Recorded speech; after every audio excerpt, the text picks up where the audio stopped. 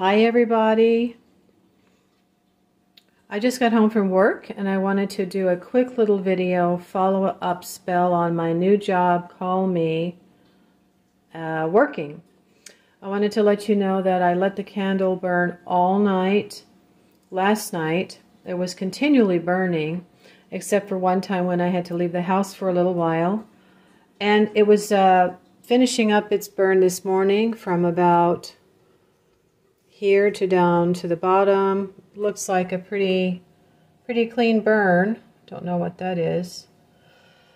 But yeah, while I was at work, I received a phone call and I thought, you know, maybe I should try to call. I had a pretty slow day, lots of uh, time in the morning between classes. So I thought, all right, let me try to call. Maybe it was her. So I couldn't call in the building. This has happened before, and I thought, well, I'm just going to take a chance and walk out of the building.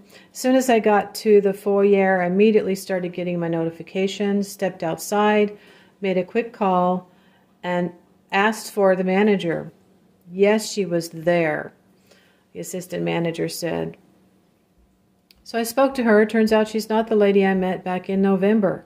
She's only been there for a couple of months. So I have a job interview. She looked up my name on the computer and saw that I had updated my application. And I'll be going in tomorrow for my interview. So, yeah, she'd asked me if I'd had an interview yet.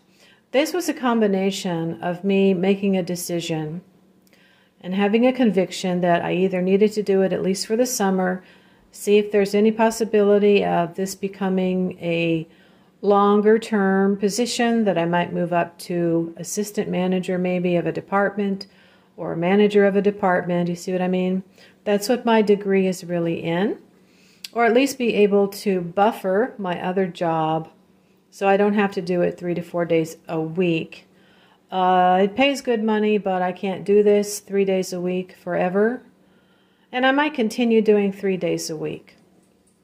But I can achieve the goal I want to achieve right now for at least the next six to 12 months by having a supplemental part time job. And you know, my kids are grown. I don't really hear from them, so it's going to be easier than when I was a single parent. That's the news for now. Have a pleasant day today, and I'll talk to you soon.